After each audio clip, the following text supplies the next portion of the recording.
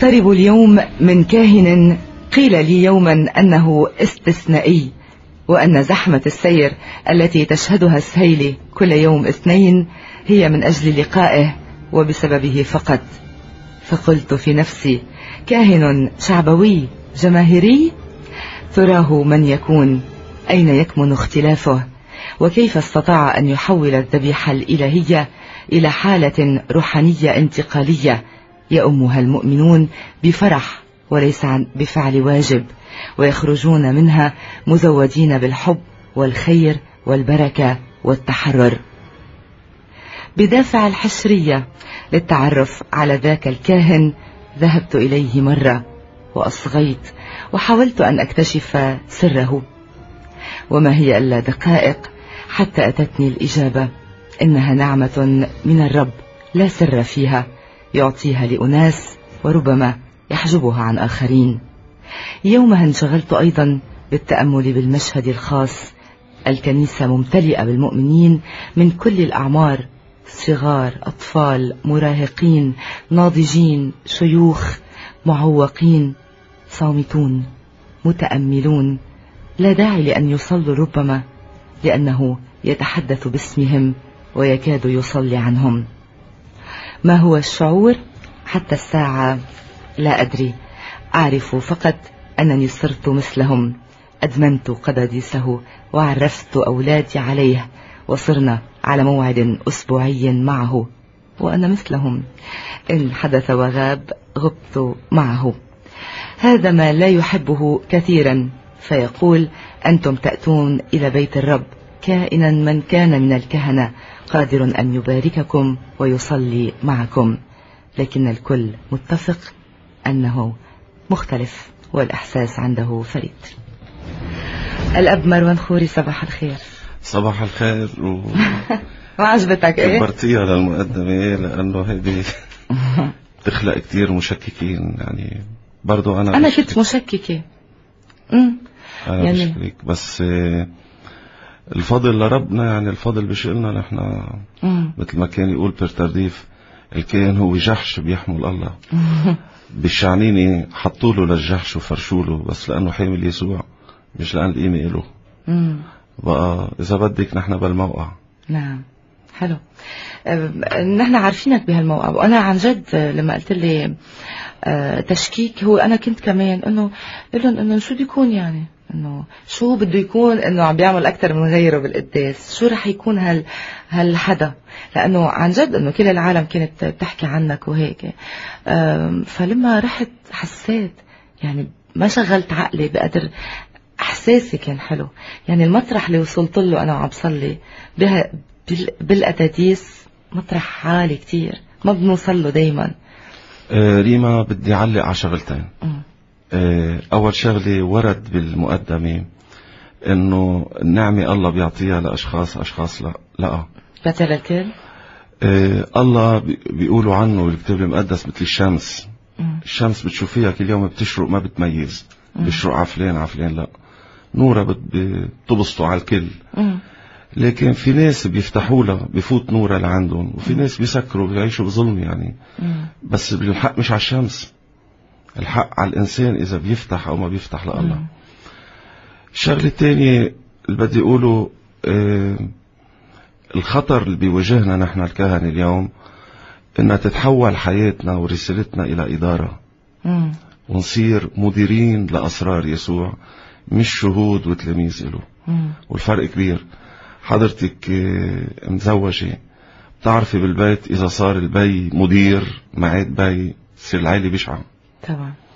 وإذا صار بي تصير العيلة حلوة وفيها طيبة وحنية وفيها رحمة وفيها حوار. مم. آه، هذا خطرنا وهيدا أنا هون بدعي الناس إنه يصلوا لنا نحن الكهنة حتى نضل واعيين للدعوة اللي دعينا إياها ربنا. مم. ما نتحول يوم من الأيام لأشخاص ورا مكاتبنا بس عم نمضي وراء معمودية ون... ونعمل معاملات زواج. نعم. آه، بدهم صلاة كتير إيه اخواني أه بدنا صلاة كلنا. مم. يعني خوارني وعلمانية لأن كلنا عم نجاهد. قد إيه بضل يجربوا الشيطان للكاهن؟ لكن ال- الشيطان حاطط راسه براس الكاهن قبل العلماني. مم. لأن بتعرفي أنت بالمعركة العدو بيركز يقوي الضابط بالجندي عادي لأن الضابط إذا انصاب ضاعوا الجنود اللي هن بحوزته مشان هيك تركيزه على الراعي تيبدد الخواريف. والراعي مسؤوليته كبيرة والخطر إنه يوم مثل أنا الكاهن بطل محمي ساعتها صرت سهل لإله يصيبني. ويجرحني بمطرح ويفركش كل اللي وراي. مشان هيك بدنا صلاة آه ومشان هيك في كتير آه، إذا بدك أخبار آه، إشاع ما بعرف إذا إشاعات بس إنه في كتير أحاديث عن إخوارني م- زهوا عن طريق خليني أقولها بالعربي المشبرح يعني آه منلاقيهم إنه عايشين حياة كتير فيها ترف كتير فيها سهر كتير فيها إشياء. بتسمع أكيد عن هيك وبتعرف. فالناس بصيروا آه لأنهم كهنة يدينون أكتر. إنه ليه هيدا هيدا كاهن ما لازم يكون هيك. أه لكن اليوم لازم يكون الكاهن رجل اجتماعي. هلا في دعوات خاصة بالكنيسة بنسميها الدعوة النسكية مم. لكن كاهن الرعية لازم يكون اجتماعي يسوع كان اجتماعي مم. اندعى عشوات وشارك بأفراح الناس وراعى عرس قانا بس بذات الوقت لازم تبقى في صورة الكاهن الشاهد ليسوع مم. يبقى بتواضعه بتجرده بفقره هاو مهمين ويبقوا بارزين. هلا آه اسمحي لي هون نقول أوقات الناس مجحفين بحق الكهنة يعني بيزيدوها.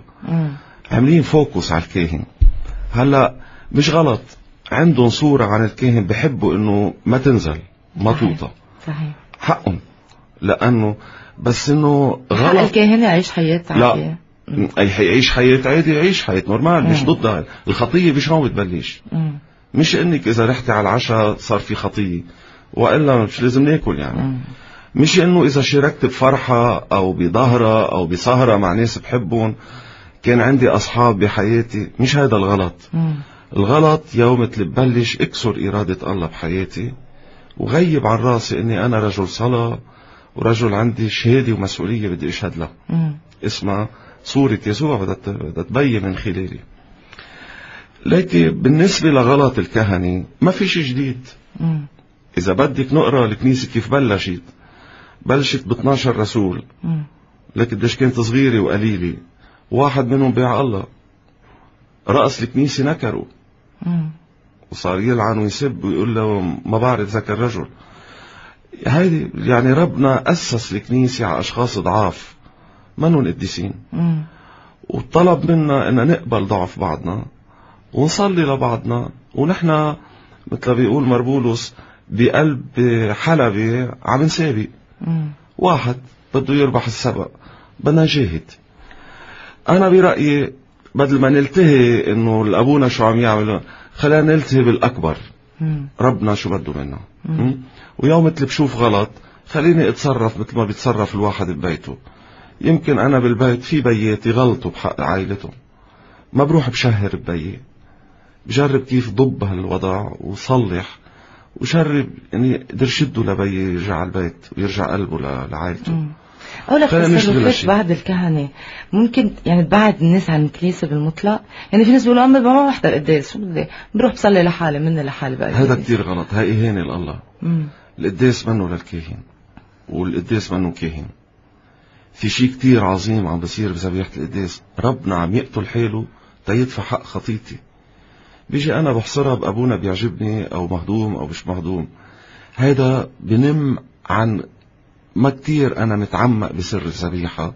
بعدني عايش بالمظهر تبعها. لا بس كمان في هلا حالة. تركيز طبعا إذا أوقات أبونا في بيشرحوا الإنجيل بطريقة ما بنفهم شيء. بغير مطرح. يعني في ناس بت- بتتأثر فيهم أوقات أنا ببكي مثلا لما بتكون عم بتصلي آه، قبل القربان يعني في مطرح لازم نحن نحسه. مش إنه رايحين نعمل دفوار مزبوط مزبوط. الكاهن له دور أساسي ينمي الإيمان تبع الرعية ويشد الناس لله. له دور. مم. بس اعتبري قصر بدوره. مم. مش لازم الغي الذبيحة. يعني في ناس مثلا بيقولوا يا أخي ليه ما بتعترف؟ بس يجوا يقعدوا معي. بيقولوا لي أبونا آه، يروح يعترف هو. و- وما بطيق لابونا لك يا أخي طول بالك. يا ريت بتفهم هالسر اللي حامله الكاهن تما تتغير هاللهجة اللي عم تحكي فيها. هذا السر منه ملكه منه ملكي. حط فيي الله شيء أكبر مني بكتير. ومنه حكر لإلي. هذا لخدمة الناس. لو تعال استفيد منه. يعني مثل اللي ساخن تخانق مع الحكيم لغي الطب يا أخي طب عم تلغي الطب أنت سخ... أنت تبقى بمرضك. بس كمان قبل في مثلا عند الروم الأرثوذكس بي بي بيقولوا بقلبهم خطاياهم خطاياهم وبيحررهم جميعا سوا. ما في ألذ من هيك؟ مش ضروري وان اون وان لا كثير مهم الاعتراف لقاء شخصي مع الكاهن. وهلا رح فسر له باردون أول شيء الأرثوذكس عندهم اعتراف شخصي. ولا؟ إيه. لأنه أنا كنت اعترف عند كهنه أرثوذكس. روح لأنه قديسهم بيقول قبل المناوله يعني بيقول له إنه في لحظة هيك نعم. بتاخذ الاعتراف هو تأسيس إنجيلي. الرب أسسه بالإنجيل. نحن تمنضيع. تعرفي لما انشقت الكنيسة صار فيها طيارات من التعليم. تما يضيعوا الناس. نرجع على النبع. قبل ما تنشق الكنيسة شو وصى يسوع بإنجيله؟ وصينا نروح عند الكاهن نعترف بخطايانا. قال له لبطرس بعطيك سلطان الحل والربط شو بتربط؟ بربط. شو بتحل؟ بحل. معناتها خارج عن إيد الكاهن ما فيش حل وربط. ليه الله بيسوقني هون بدنا نفهم اليوم خميس الأسرار. صحيح. ذكرى تأسيس الأسرار بالكنيسه اللي من ضمنه الاعتراف.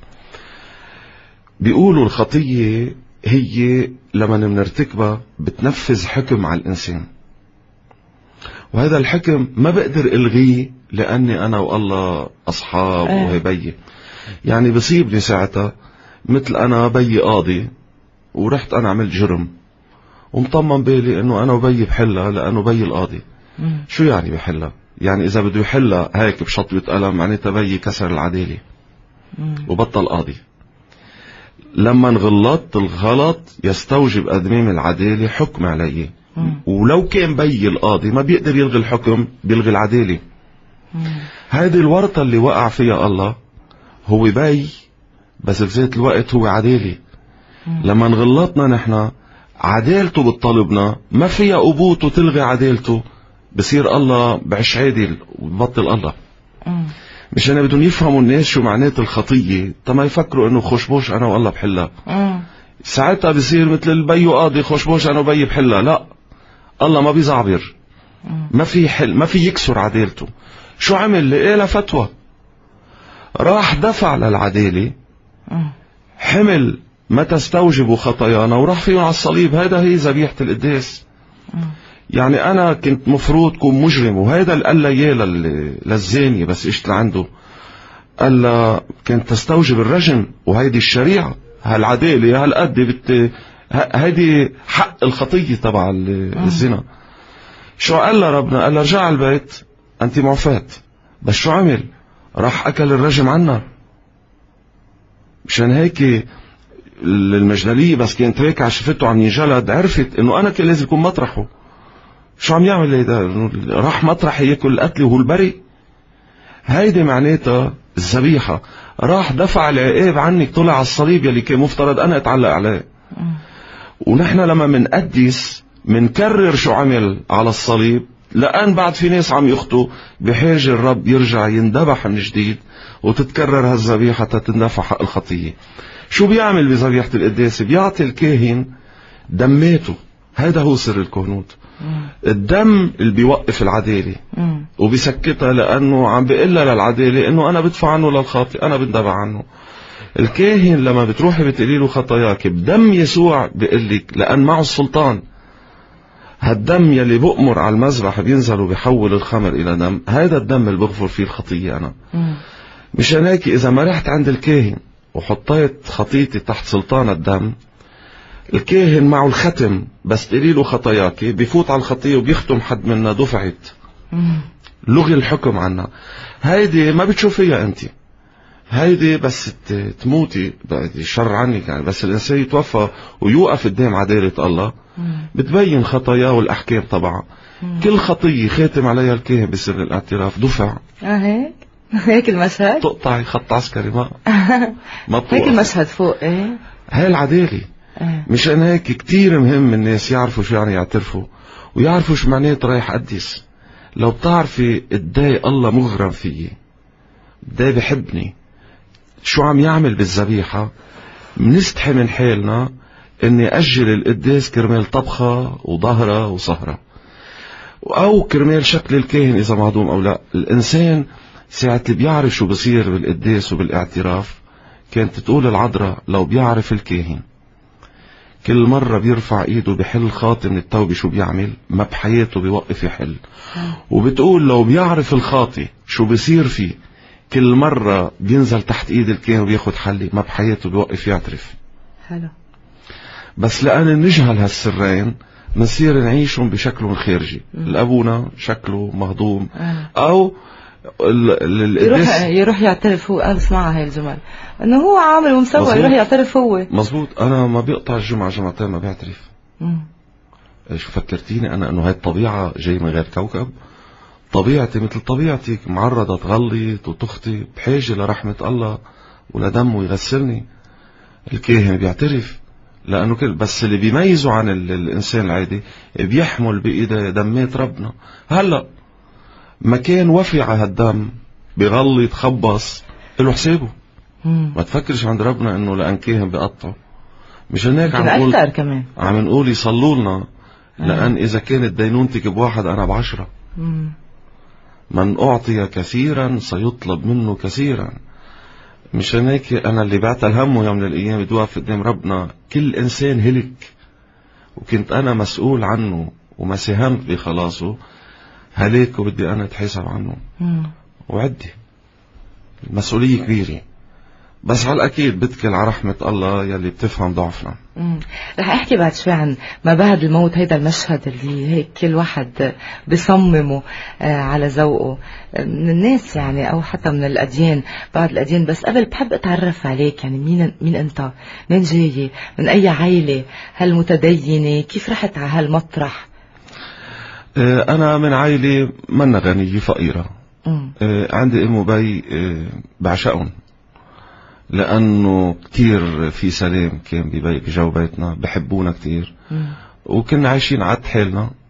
وبالفعل كان في بالبيت بركة الله. عندي أم بتصلي ليل ونهار. وهي وبي علمونا شو يعني نكون أوادين وشو يعني نكون نحب الله. كان بتذكر أنا كنا صغار كان يسوع بالبيت قضية. نهار لما نقدس يعني كارثة تنزل علينا. ونهار لنقدس معناتها هي أكتر شيء بيفرح قلب قلبنا. هلا كنا صغار. هاي الصورة اللي طبعوها فينا. ولما نكبرنا تعرف الإنسان تتشوفي بتصير تقول الأم أوقات إنه بكرة بيكبر هو بينقي. كتير غلط. مم. هي بتحدد له خياراته؟ لما بتطبعي شي فيه على صغر وبتحبيه لهالولد بيوعى يوم من الأيام. لأن كتير بحبك بصير يحب اللي كنت تحبيه. صرت تحب الله لأن هالقد أمي بتحبه. ولأن أنا بحبها. بدي بدي إلا إنه إنه هالقد أنا بدي أرضيك. روح مثلا إلا قدست اليوم. صليت مسبحة. يا شوفها تعيد. وربينا بهالجو. وعلى الأكيد براءة الطفل ربنا بيعرف كيف ينضجها بيوم من الأيام يوعيه إنه هيدا السر اللي كنت بعلاقة طفل فيه. اليوم تعا اكون بعلاقة واعي أنا وياك. كنا نتردد عند حبيس واليوم صارت دعوة تطويبه بالفاتيكان ابونا أنطونيو السراباي من نحن وصغار أهلي بيعرفوه قبل ما يتجوزوا. آه، كان عايش بوادي النوبين. آه، وكنت كتير متأثر أنا بحياته. لما كنت طفل كنت روح أخدم له القداس. كان يحبني يقعدني بحضنه. كان ربنا عطيه موهبة. يعرف الغيب مش مثل البصارين هودي مم. كان عنده رؤية يعني كان يستدرك إيش بس بقوة الروح القدس. وهي النبوءة الصحيحة الموجودة بس هيدي كمان. كان عنده إياها مارشال كان عندهم إياها كتار من القديسين.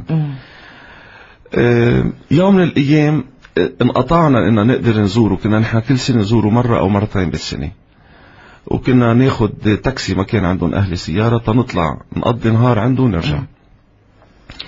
سنة من ال 76 لل 78 انقطعنا عن زيارته لأنه وقتها بفعل الحرب. مم. سنة 78 بس طلعنا لعنده كان رسي بالفرشة ويبس. أف.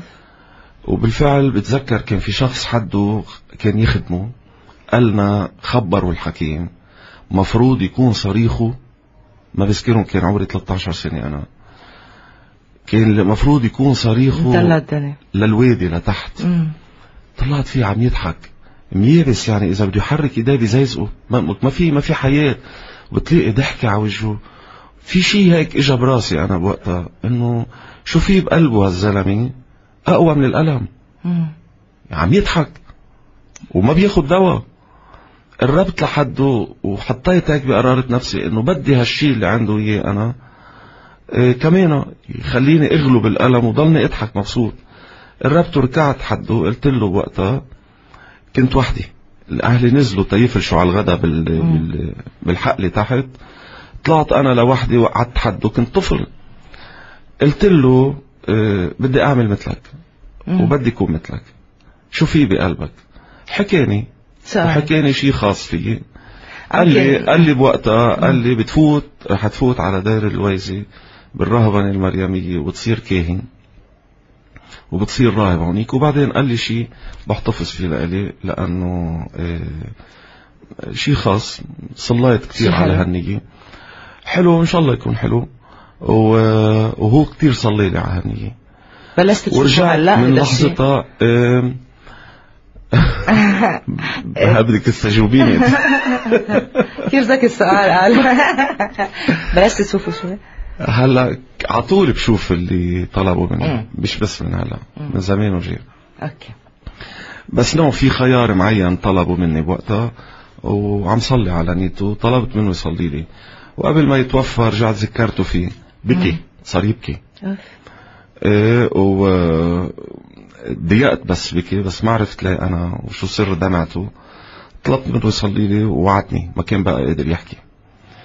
إيه بوقتها ولع شي بقلبي ما عدت شايف إلا طريق الدار بيقولوا الرب بيستعمل أوقات قديسين بيستعمل أشخاص بيستعمل نص بالانجيل بيستعمل آه، حدث تيدعي أنا بحس بوقتها استعمل. هالكاهن ال- الناسك حتى لي يجيبني على الدار وبالفعل كان بوقتها الحرب تتذكري ب 78 حرب ال 100 يوم يعني كانت أيام شرسه وكان داير الويزي ما بعرف وينه ولا بعرف شو معنات حياة رهبنة ولا شيء القصف كان عليه وكان متراسب وقت الداير لقبيل كامب بيي ما كنت مقرر لو تحت القصف ما عاد شيء ولعان بقلبي بدي فوت على الداير.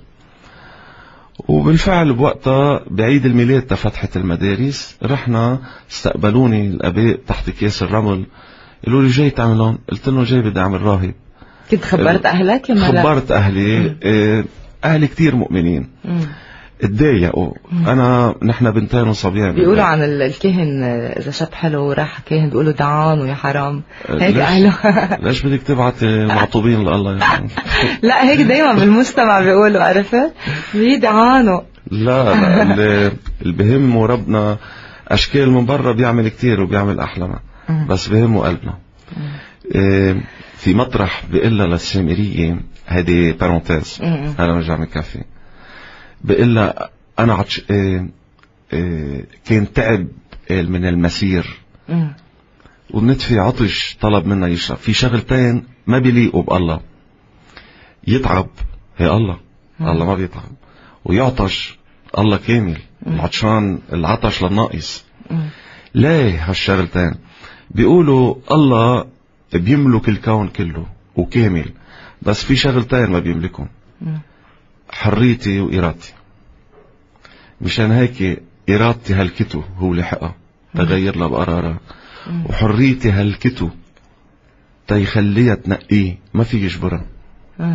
مشان هيك برجع بقول لك بهمه ربنا قلبي حريتي وإرادتي.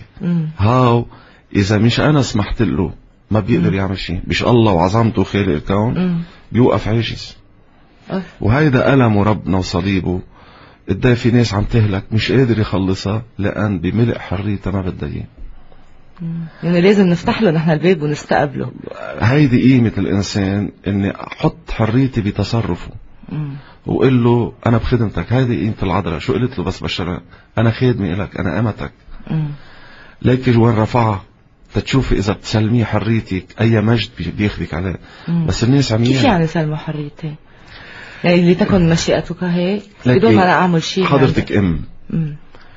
كيف ابنك بسلمك تربيته وهو صغير؟ إذا عيندك بيعمل لك ألم. مم. بس إذا كان سهل معك بتوصليه على أعلى المراتب لأنك أمه بتعبديه بتع- بتعشقيه. بدنا نكون بهالموقع مع ربنا. هي تسلمي حريتك. يعني تكوني عايشة بنته وتقولي له انت قرر بدك. وبحط بتصرفك أفكاري مشاريعي كل شيء اللي ما بيعجبك الغيه اللي بيعجبك بيركو وزيدوا مم. تكوني عايشة أنت وياه مثل العي... مثل البنت عايشة مع بيها. منا صعب إن إحنا نصير نفلسفها ونفكر اللي هو بدي شي يروح ادرسه بالجامعة مم. حبي الله واعتبريه بي بس عيشي معه بنته. و... ورح تشوف المجد اللي بياخدك عليه مم. لأنه بحبنا بده إيانا نكبر كمل لي عن بقى بدنا نحكي السلام فتنا على الويزي. كانت لإلي أول ست سبعة أشهر جحيم مم. يعني بيولع فيك حنين بالداير للأهل بتصيري مثل الطفل يعني إنه كانت 13 سنة سن مراهقة بس إنه فوتوك كانوا يفوتوا بهالعمر؟ بفوتوا هن فت. ابن quatorze ans يعني وقتها آه. آه بعدين كنت صلي كتير وبالفعل بالصلاة قدرت اتخطيت مرحلة العاطفة مم. بتصيري تحسي يعني بالبيت عايشة أمك بتطبخ لك وبتتغنجي وهي بدك وهي ما بدك وفي مين يساوي التخت وت- عم تكب ثيابك وبتمشي. أهلي كانوا بيهتموا. بالدير لا أنا بدي بدي آكل الاكل المطبوخة. مم. وكنت مقعون شوي ما اكلش كل شيء وبدي أنا ظبط ثيابي وتختي وأنا أعمل ال ménage ونظف الحمامات وكذا. بالأول هيك يعني عم تنقلي من مرحلة الغنج لمرحلة المسؤولية وبعدين بس بقلك قطعت الأيام ودرست وكنت déjà بتعرفي كنا جهلانين شوي تركنا المدرسة على سنة أيام حرب وهيك. كمان الصعوبة الثانية إني أرجع من جديد أقلع بدرسي إيه، صليت وبدي خبري خبرية صغيرة كان أكثر إيه، matière قد ما كانت المعلمة قاسي علينا بوقتها. ال biologie. كانوا يعطونا biologie quatrième troisième إيه، بوقتها كنت جيب un zéro أوقات تشلي علامات يعني إيه. بقى فت على الدار قل له يا رب دخلك. ما بدي منك شيء إلا ال biologie ما بتصدق. أعلى علامات صرت جيبها بال biologie عن جد. أكثر من العربي ومن ال littérature ومن بقية المواد. بقى تتشوفي ربنا إنه مثل كأنه بيبعث. لك علامات صغيرة تافهة بتبقى بس تقول لك إنه ما تخافي أنا هون. حطي ثقتك أوقات آه، نحن.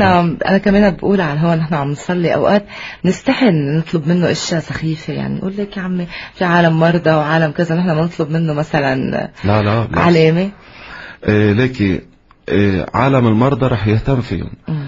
بس الله تأمل إيه بحبيك بالنسبة إلك الشيء التافه لأنك بتحبيه بصير غالي عنده لأن. بحبك. آه، بتخبر خبرية مرة العذراء بتقول سلموني كل شيء بحياتكم تقودكم على المجد اللي وصلني على ابني أعطوني كل شيء وكرسوا لي كل شيء كل يوم بحياتكم يعني حتى أتفه الأشياء مم. في مرة زارت ميلي جورييف وقتها وقريت الرسالة من العذراء ورجعت بقرار إنه أنا كل شيء بدي أعمله بالبيت بدي أعمله بإذن العذراء. يعني راحت معها على ال maximum. إنه مش بدي كنيس بدي أقول لها للعذراء اليوم رايح كنيس بركي لي تكنيسي. بقى صارت بالفعل. وتحس هيك مثل كأن شي بقلبها علامة رضا إنه أنا هون. مرة بتحس بقلبها شي عم بيقول لها انزلي جيبي مونة للبيت. اشتري المونة للبيت. قلت لك هالإلهام هو من العذراء. بس قالت بينها وبين نفسها أنا مسلمة العذراء خلاص رح أعمل بموجب الالهام وكانت شارية déjà مونة مم. نزلت على السوبر ماركت عبت اثنين chariots وجاية بدها على الصندوق. كان في file طويلة واقفين على بالصف على الصندوق. أه وقفت بالصف. بيجي شخص بشك قدامها ياخذ لها مطرحها. حمقت منه إنه ولو أحترم الصف وقف وراي ليه بدك تشك قدامي. قالت معلش كرمال العذراء مش أحكي. وصل هو الزلمة دفع وفل اجت هي دورتها تدفع. بيوصل صاحب السوبر ماركت قال له مدام مبروك قالت له عشو قال له حضرتك رقم ال 5000 من وقت ما فتحنا السوبر ماركت بتشتري من عنا. واخدين قرار بالإدارة رقم 5000 كل شيء بيشتري ببلاش. معباية 12 يوم بتقول هي عاملة témoignage بكتاب soeur Emmanuel بميديغوريان بتقول حتى بالمونة العذراء ساعة ما نسلمها بتصير تهتم. حلو. وبالمونة بتباركنا. يعني شوفي كيف ربنا بيحكي.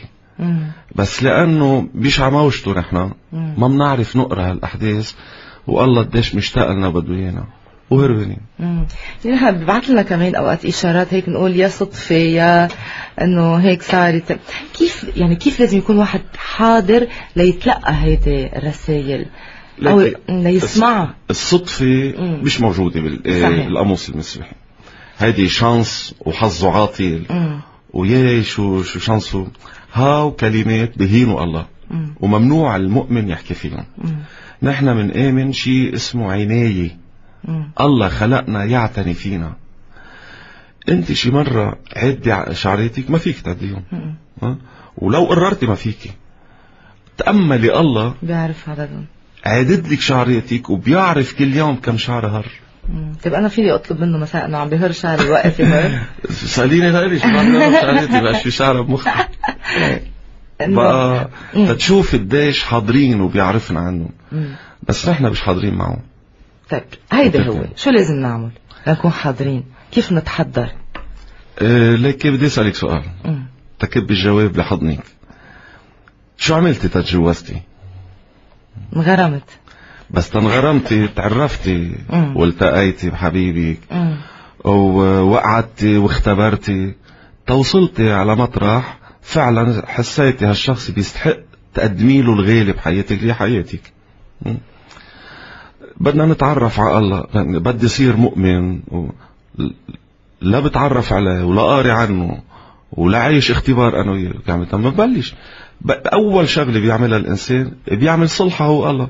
ببلش ينقي ضميره. بدنا نفهم شو الخطية راجع ضميرك.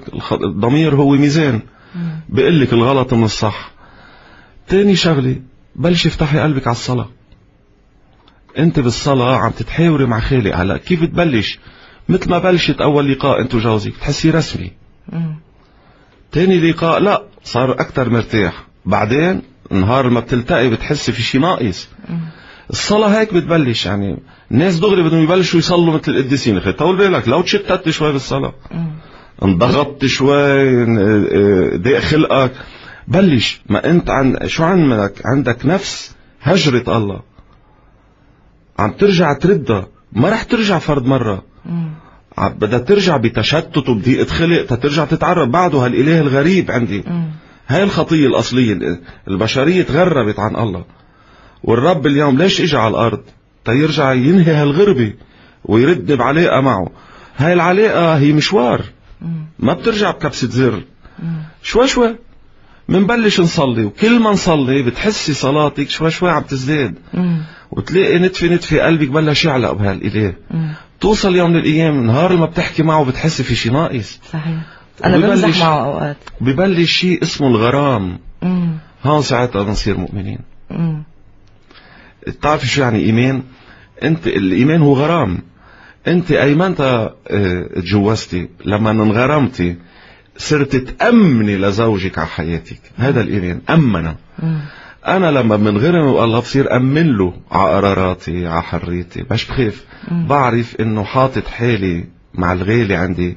بين إيدين أمينة. بس في ناس مثلا تفاصيل حياتهم مش هيك. مثلا بيقولوا أنا أنا اتكلت على الله ورحت عملت هيك عملت اكسيدون وكسرت اجري وروحت راسي وين كان اللي ما كان معي. هدول الأشياء أكيد بتسمعهم يعني.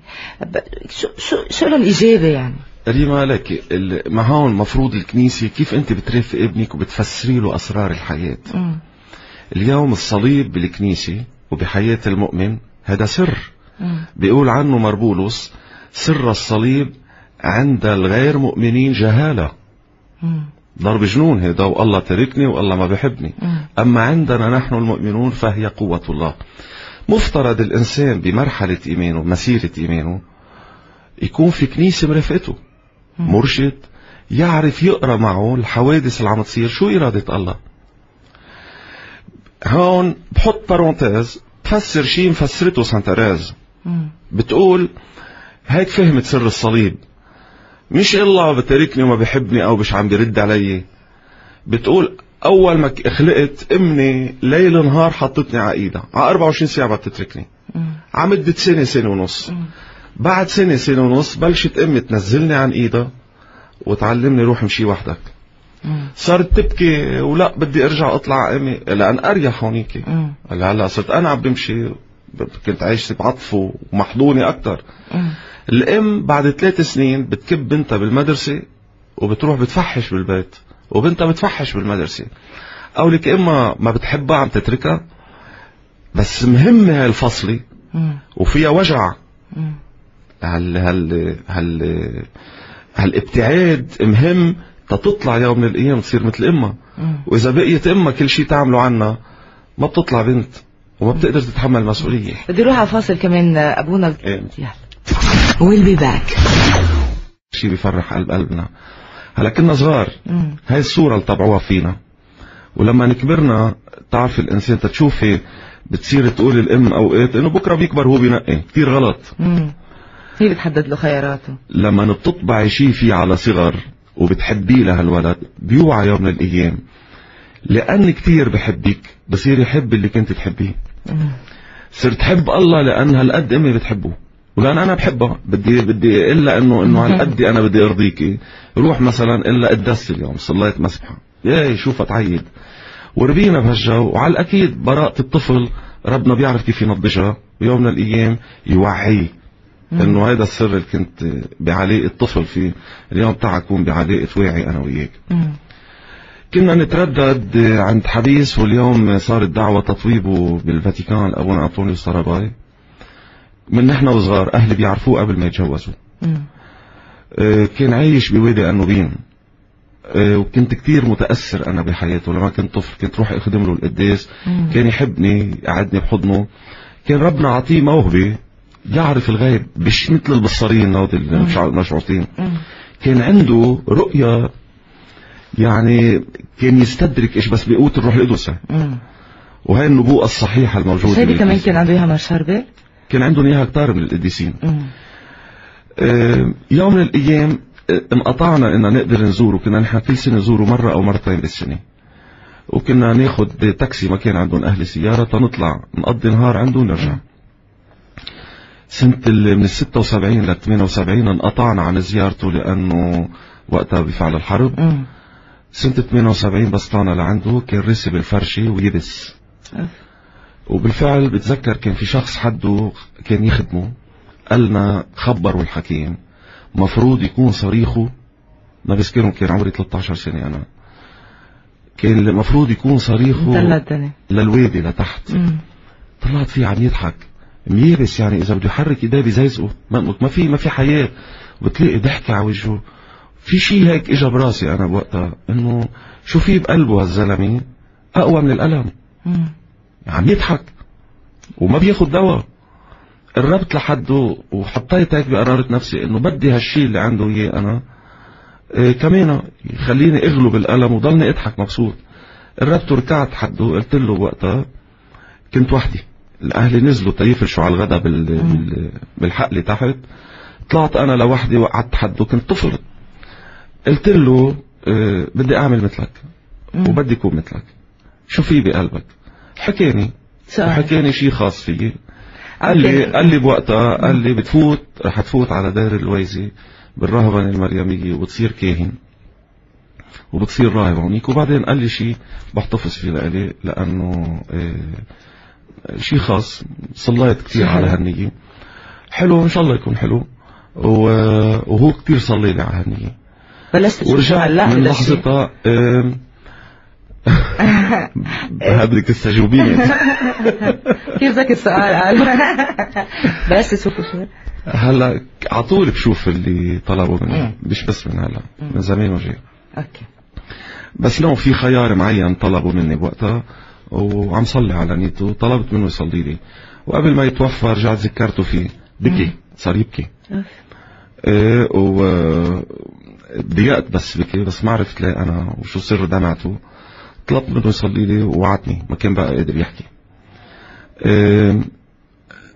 بوقتها ولع شيء بقلبي ما عدت شايف إلا طريق الدار بيقولوا الرب بيستعمل أوقات قديسين بيستعمل أشخاص بيستعمل نص بالإنجيل بيستعمل آه، حدث تيدعي.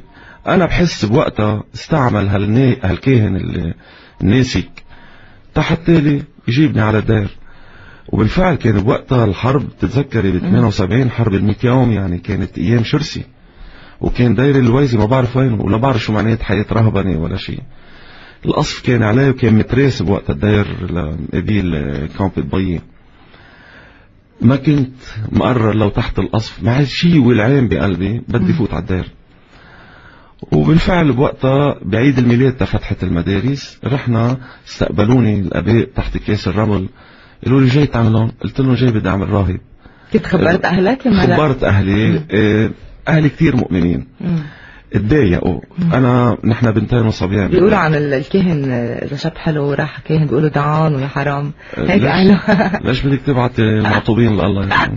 لا هيك دايما بالمجتمع بيقولوا عرفت؟ ليه ضيعانه لا لا اللي بهمه ربنا أشكال من برا بيعمل كثير وبيعمل أحلى. بس بهمه قلبنا. إيه، في مطرح بيقول لها للسامريه هذه parenthèse مم. هلا نرجع منكفي. بيقول لها أنا عطش إيه إيه كان تعب إيه، من المسير. مم. والنتفي عطش طلب منا يشرب. في شغلتين ما بيليقوا بألله. يتعب. يا الله. مم. الله ما بيتعب. ويعطش الله كامل. العطشان العطش للناقص. ليه هالشغلتين بيقولوا الله بيملك الكون كله وكامل. بس في شغلتين ما بيملكهم. مم. حريتي وإرادتي. مشان هيك إرادتي هلكته هو لحقها. تغير لها بقرارها. وحريتي هلكته. تيخليها تنقيه. ما في يجبرها. مشان هيك برجع بقول لك بهمه ربنا قلبي حريتي وإرادتي. هاو إذا مش أنا سمحت له ما بيقدر يعمل شيء. مش الله وعظمته خالق الكون. بيوقف عاجز أه. وهيدا ألم ربنا وصليبه. قدام في ناس عم تهلك مش قادر يخلصها لأن بملء حريتها ما بدها إياه يعني لازم نفتح له نحن الباب ونستقبله هيدي قيمة الإنسان إني أحط حريتي بتصرفه مم. وقول له أنا بخدمتك هيدي قيمة العذراء شو قلت له بس بشرك أنا خادمي إلك أنا أمتك. لكن وين رفعها تتشوف إذا بتسلميه حريتك أي مجد بي- بياخدك عليه. بس الناس عم يعملوا. يعني سلم حريتي؟ يعني لتكن مشيئتك هيك بدون أنا أعمل شيء حضرتك أم مم. كيف ابنك بسلمك تربيته وهو صغير؟ إذا عيندك بيعمل لك ألم. مم. بس إذا كان سهل معك بتوصليه على أعلى المراتب لأنك أمه بتعبديه بتع- بتعشقيه.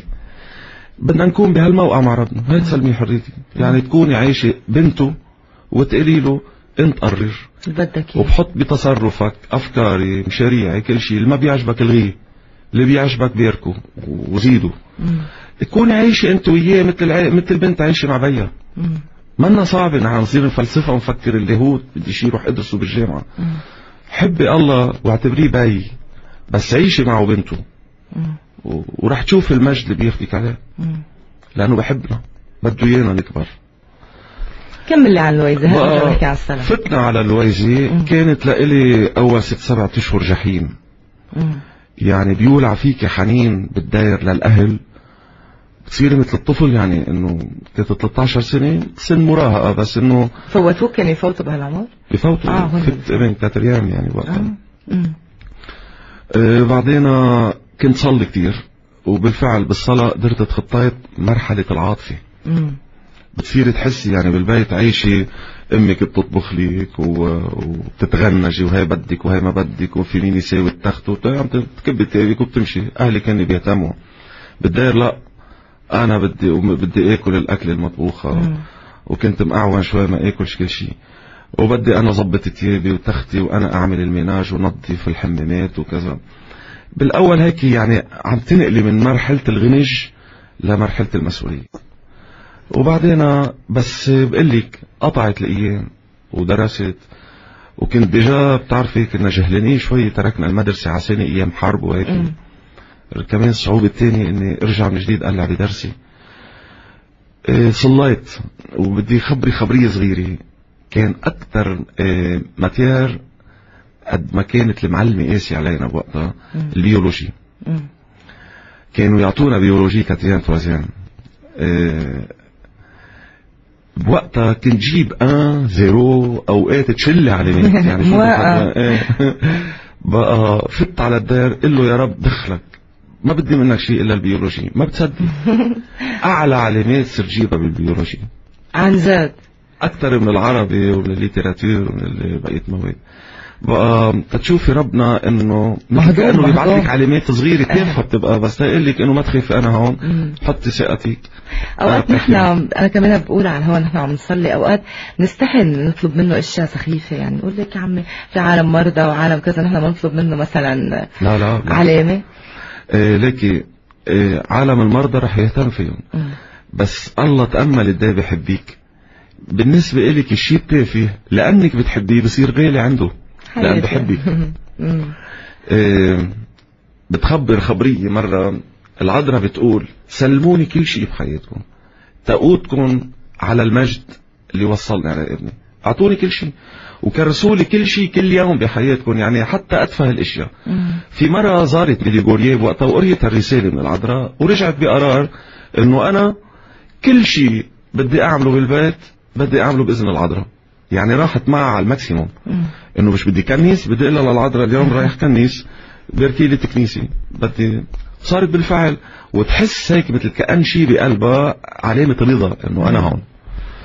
مرة بتحس بقلبها. شيء عم بيقول لها انزلي جيبي مونة للبيت. اشتري المونة للبيت. قلت لك هالإلهام هو من العذراء. بس قالت بينها وبين نفسها أنا مسلمة العذراء خلاص راح أعمل بموجب الالهام وكانت شارية déjà مونة. نزلت على السوبر ماركت عبت اثنين شاريو وجاية بدها على الصندوق. كان في فيلة طويلة واقفين بالصف على الصندوق. أه وقفت بالصف. بيجي شخص بشك قدامها ياخذ لها مطرحها حمقت منه إنه ولو احترم الصف وقف وراي لا بدك تشك قدامي قالت معلش كرمال العذراء مش أحكي. وصل هو الزلمة دفع وفل. إجت هي لورا تدفع. بيوصل صاحب السوبر ماركت قال له مدام مبروك. قالت له عشو قال له حضرتك رقم ال 5000 من وقت ما فتحنا السوبر ماركت بتشتري من عنا. واخدين قرار بالإدارة رقم 5000 كل شيء بيشتري ببلاش. معباية 12 يورو بتقول هي عاملة témoignage بكتاب Soeur Emmanuel بميديغوريين بتقول حتى بالمونة العذراء ساعة ما نسلمها بتصير تهتم. حلو. وبالمونة بتباركنا. يعني شوفي كيف ربنا بيحكي. بس لأنه مش عموشته نحن. ما بنعرف نقرأ هالأحداث. والله قديش مشتاق لنا بده إيانا. وهربانين. يعني نحن ببعث لنا كمان أوقات إشارات هيك نقول يا صدفة يا إنه هيك صارت. كيف يعني كيف لازم يكون واحد حاضر ليتلقى هيدي الرسائل؟ أو لكن ليسمعها الصدفة.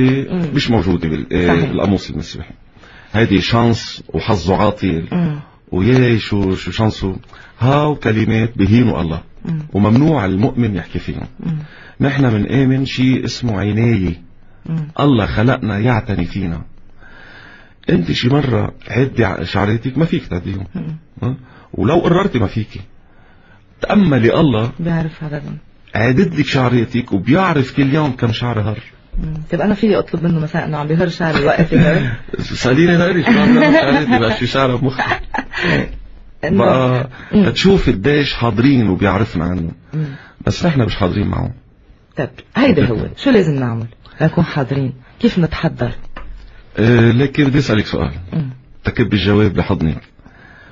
شو عملتي تتجوزتي انغرمت. بس تنغرمتي تعرفتي. والتقيتي بحبيبك مم. ووقعدتي واختبرتي. توصلتي على مطرح فعلا حسيتي هالشخص بيستحق تقدمي له الغالي بحياتك هي حياتك? بدنا نتعرف على الله بدي يصير مؤمن. و... لا بتعرف عليه ولا قاري عنه ولا عايش اختبار أنا وياه. يعني لما ببلش. اول شغلة بيعملها الإنسان بيعمل صلحة هو الله. ببلش ينقي ضميره. بدنا نفهم شو الخطية راجع ضميرك. الضمير هو ميزان. بقول لك الغلط من الصح. تاني شغلة بلشي افتحي قلبك على الصلاة. انت بالصلاة عم تتحاوري مع خالق هلا. كيف بتبلش؟ مثل ما بلشت أول لقاء انت وجوزك بتحسي رسمي. تاني لقاء لا صار أكثر مرتاح. بعدين نهار ما بتلتقي بتحس في شيء ناقص. الصلاة هيك بتبلش يعني الناس دغري بدهم يبلشوا يصلوا مثل القديسين. أخي طول بالك لو تشتت شوي بالصلاة. انضغطت شوي ن- آه، ضاق خلقك بلش. ما انت عن شو عندك؟ عندك نفس هجرة الله. عم ترجع تردها. ما رح ترجع فرد مرة. عم بدها ترجع بتشتت وبضيقة خلق تترجع تتعرف بعده هالإله الغريب عندي. هاي الخطية الأصلية. البشرية تغربت عن الله. والرب اليوم ليش اجى على الأرض؟ تيرجع ينهي هالغربة ويرد بعلاقة معه. هاي العلاقة هي مشوار. ما بترجع بكبسة زر. شوي شوي. منبلش نصلي وكل ما نصلي بتحسي صلاتك شوي شوي عم تزداد. وتلاقي نتفة نتفة قلبك بلش يعلق بهالإله. توصل يوم من الأيام نهار ما بتحكي معه بتحسي في شي ناقص. صحيح. أنا بمزح معه أوقات. ببلش شيء اسمه الغرام. هون ساعتها بنصير مؤمنين. بتعرفي شو يعني إيمان؟ أنت الإيمان هو غرام. أنت أيمتى آه، تجوزتي لما انغرمتي صرت تأمني لزوجك على حياتك. هذا الإيمان. أمنا أنا لما بنغرم والله بصير أمن له على قراراتي على حريتي. باش بخاف بعرف إنه حاطط حالي مع الغالي عندي. بين إيدين أمينة. بس في ناس مثلا تفاصيل حياتهم مش هيك. مثلا بيقولوا أنا أنا اتكلت على الله ورحت عملت عملت اكسيدون وكسرت اجري وروحت راسي وين كان ما كان معي. هدول الأشياء أكيد بتسمعهم يعني. شو شو شو الاجابه يعني؟ ريما لك ما هون المفروض الكنيسة كيف أنت بترافق ابنك وبتفسري له أسرار الحياة؟ م. اليوم الصليب بالكنيسة وبحياة المؤمن هذا سر. م. بيقول عنه مربولوس سر الصليب عند الغير مؤمنين جهالة. ضرب جنون هذا والله تركني والله ما بحبني. أما عندنا نحن المؤمنون فهي قوة الله. مفترض الإنسان بمرحلة إيمانه مسيرة إيمانه يكون في كنيسة مرافقته. مرشد يعرف يقرأ معه الحوادث اللي عم تصير. شو إرادة الله؟ هون بحط parenthèse تفسر شيء مفسرته Sainte Thérèse بتقول هيك فهمت سر الصليب. مش الله بتركني وما بحبني أو مش عم بيرد علي. بتقول أول ما خلقت امي ليل نهار حطتني على إيدها. على 24 ساعة ما بتتركني على مده سنة سنة ونص. بعد سنة سنة ونص بلشت أمي تنزلني عن إيدها وتعلمني روح امشي وحدك. صارت تبكي ولا بدي ارجع اطلع امي لأن اريح هونيك هلا هلا صرت أنا عم بمشي كنت عايشة بعطف ومحضوني أكثر الأم بعد ثلاث سنين بتكب بنتها بالمدرسة وبتروح بتفحش بالبيت وبنتها بتفحش بالمدرسة. أو لك اما ما بتحبها عم تتركها بس مهمة هاي الفصلة وفيها وجع. هال هال هال هالابتعاد مهم تطلع يوم من الأيام تصير مثل إمها. وإذا بقيت إمها كل شيء تعمله عنا ما بتطلع بنت وما بتقدر تتحمل المسؤولية. بدي أروح على فاصل كمان أبونا. إيه. We'll be back. نعود إلى لقائنا المباشر مع الأب مروان نخوري. يعني هو بهالمرحلة بيعطينا حرية اتخاذ القرارات حرية الصليب الرب عم بينضجك عم بيكبرك والألم استعتمدوا طريق الرب. في شيء من التربية بالألم في شيء من النضج.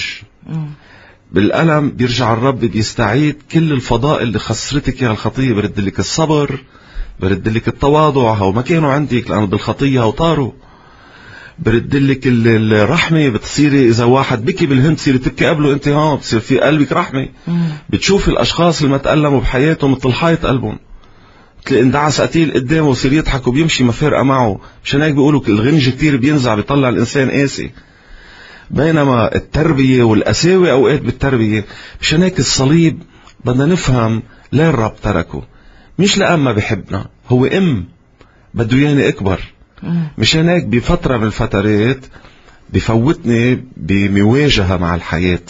وبيخليك بحس حالي كأن وحدي. بس هو بيبقى وراي.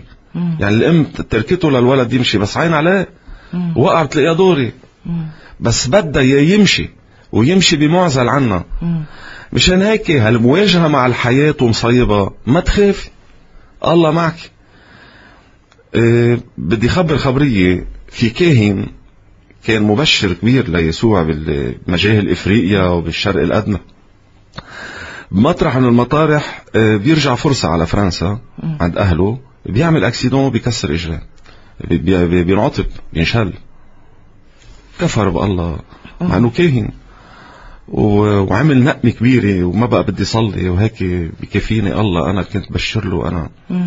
كان في مرة اسمها مارت روبان إيه كمان هيدي دعوة تطويبة بروما اليوم. عيشت خمسين سنة على القرباني ما تاكل إلا القرباني بس تتناول بالنهار. والمي حياة عجائبية. كان عندها استجمات تبع يسوع جروحات الله مم. كانوا بجسدها. راح لعندها. قال ليكي احكي لي يا إلهي كده هيك بكفي للي هيك بكافي اللي بحبوه؟ بينهيني على الشازونوت مكرسح مشلول. بتغمض عينيها خمس دقايق بتصلي مات ربع وبس وعيت. بتقله بتقله بقول لك يسوع الناس اللي رح تردهم بوجع إجريك رح يكونوا أعظم بكتير من اللي رديتهم بلسانك. حلو أنا آه ناسك أبونا أنطون عاجز كان مقرح جسمه وكل قرح بجسمه بالتفاحة بتفوت فيه مم. من هالجروحات أنا الكاهن طلعت ومن هالآلام أنا فت عالدار تتشوف الآلام مع يسوع مخصبة. بيحكي عنا بيقول المرأة بالالام تلد الولد. بالألم بيجي بس لما بيجي بتنسي ألامك لأن ألامك عطيت حياة. يا ريت بنعرف ألامنا بس نشركها مع ربنا. قديه فيها خصوبة. قديه فيها مجد. ساعتها هو فهموه القديسين مش هناك رفقة قالت له وينك نسيني؟ مفكرة مجنونة نحن مش طبيعية مش عم تطلب تطلب الوجع إيه. بس فهمت قديه بالألم الله بيدفع ثمن خطايا وبيطفي شرور مم. قديه بالألم بيرجع بيهذب النفس وبيردها حلوة كيف كانت قبل الخطية. مشان هيك هاي طريق فينا نعتبره أساس؟ لا لا جميل إذا بدك تكفير مم. طيب شي تكفير. أولاد يصابوا وين كانوا بحياتهم السابقة يعني مرتكبينها؟ نو لا الطفل لكن آه اللي بيقولوا الصليب بحياتنا. مثل السكين بإيد الحكيم. أنا اليوم مريض. الحكيم مضطر يجرحني في وجع. بس أنا إذا بدي أقرأ بس إنه الحكيم عم بيوجعني بكفر له يعني بكفر فيه. بس إذا بقرأ إنه عم بشقني بس من بعدها هاي في شفاء وفي مرض بده يروح. ساعتها بقبلوا لهالسكين. إذا بدك الرب بيسمح بالألم. مثل سكينة الحكيم. بدنا نطلع ليه الرب سمح بهالصليب شوف شو عم بحضر لمن بعده مم. شو الشفاء أو الشر اللي بده يطفيه بهالعيلة مم. أو بالسليلة لأن أوقات بيبقى في بالسليلة في لعنات مم. جاية من الماضي من وراء خطايا جسيمة ارتكبت مم. آه تجارة مخدرات سرقة كبيرة تبييض أموال آه شعوذات ارتكبت هاو إذا ماتوا الأشخاص وما تابوا عنا بيجي أشخاص أبرياء بتحسي عم تتألمي ما بتعرفي ليه. بس هالألام الرب بيسمح فيها تيطفي هالشر الموجود مثل ما قلت العدالة ما بتسكت إلا ما توفيها حقها. يستعمل الألم تيرجع يطهر السليلة ويرد لها الفرح والسلام. كل حدا عنده مصيبة من هالنوع هي بدنا نقرأ. إيه يعني في رسالة من في سر. مش إنه في أوقات يعني الناس بيقولوا إنه الأشياء المنيحه من عند الله مش منيحة من الشيطان ما بيتدخل هو فيها. طلع لا بيتدخل إنه طلع بيعرف على القليل فيه. الله كل شيء بصير بالحياة بعلمه إلا شغلة واحدة مم. الخطية. بس ترتكبيها هاي بملء إرادتك ووعيك. هون ما بتدخل إرادة الله. آه ما في محلات بقلنا أنتم حرين قولوا إيه قولوا لا. بلا. عملوا هيك. بلا بلا. لما بقول بعلم الله مش okay. معناتها بإرادته. الله بيعرف. يعني أنا واقف عتلي حاطط indication على الطريق إنه في كوع ما تفوتوا بسرعة إلا 60 امم شايف سيارة أنا طايرة بسرعة 200 أنا عارف إنه هاي السيارة واصلة على الكوع بدها تتهور. وصلت على الكوع وتهورت بس مش أنا هورتها. أنا عارف اللي سياقها هورها وماني مسؤول أنا لأنه حاطط له الأنديكاسيون إنه انتبه في كوع وانتبه في كوع ورجع ردت له إياها. بس ما عم برد علي. يعني إذا بدك الرب عارف بس مش هو اللي بيسمح. إرادتي اللي بترتكب بس عارف إرادتي شو بدها تنقي. مم. لأنه الله بيعرف المستقبل. وين ألمه؟ إنك ما تخليه يتدخل بهالإرادة تيوقف الخطر الرايح عليه. هيدا صليب ربنا. ما عم نسمح له يتدخل ويسوق هو هالسيارة ما بيخليها تتهور. القديسين قالوا له إنت سوق حياتنا. أخذ على السما لمجد. خلى الأرض تركع لهم. تعرف لأنه ربونا آه، حتى بالمدارس يعني آه، الراهبات والرهبان وهيك آه، ما عم ما عرفونا ما حكيوا مثلك. حكي إنه الله بده يقاصصك الله بده يفرج هذيك بكرة فرجيكي شو بقى شو بده يعمل فيكي الله مشان هيك هالناس يعني بين صورة الله العادل القاضي. مش صورة الله البي. انتبه الرب عنده اثنين غلط بس قول الله بي.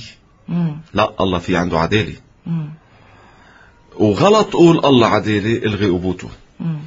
الله على هالأرض يتعامل معك بأبوة للموت. لكن بعد الموت تنتهي الرحمة تنفتح العدالة الشاطر هو اللي بيعرف على هالأرض يسكت العدالة هونيك. مشان هيك عم قول للناس روحوا اعترفوا. لأن يسوع عطاني تبرير للعدالة هونيك بدمه. اللي ما بيعترف بده يتورط مع العدالة هونيك. من هون بيقول ربنا بنص بالإنجيل كنت رايح أنتو خصمك عند القاضي. مين الخصم؟ هو الخطية. مم. صالح خصمك على الطريق هون وإلا خصمك رح يزجك قدام القاضي والقاضي رح يصدر حكم عليك ويكبك بالحبس. لن تخرج من هناك. حتى تفي آخر ما عليك. مشان هيك الذكي هو اللي بيوصل قدام القاضي بده يتهم القاضي بيقول له خلي دفع التهمة. مزبوط أنا غلط بس دفعوا لي التهمة. بس بالاعتراف هيدا بيكون.